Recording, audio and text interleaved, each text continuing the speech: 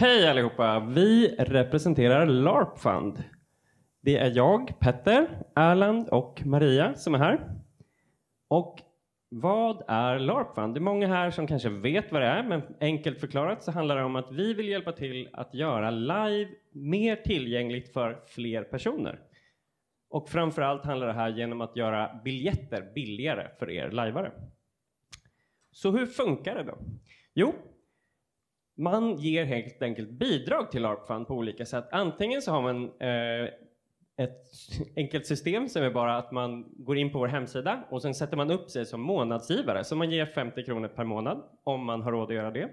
Eller så kan man som förening eller privatperson ge oss en donation. Till exempel har folk sålt saker på live-loppisen här på Prolog eller att man lägger ner sin förening och sen så donerar man eh, de pengar som finns kvar till Art Fund.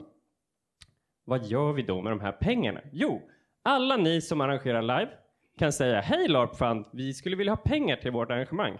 Då kan ni få det på, med ett, egentligen, ett, framförallt ett krav och det är att ni använder pengarna till rabatterade biljetter. Så om ni har rabatterade biljetter och inte alla biljetter till hela livet utan några rabatterade biljetter så får ni pengar av oss till de biljetterna.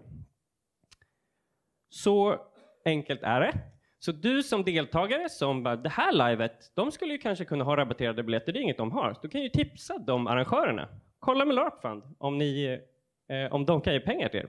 Så funkar det förmodligen jättebra. Eh, jag ska ge ett litet tips också. Imorgon klockan 11 i ABF Stora så håller Erland och Maria en programpunkt som heter Mera pengar.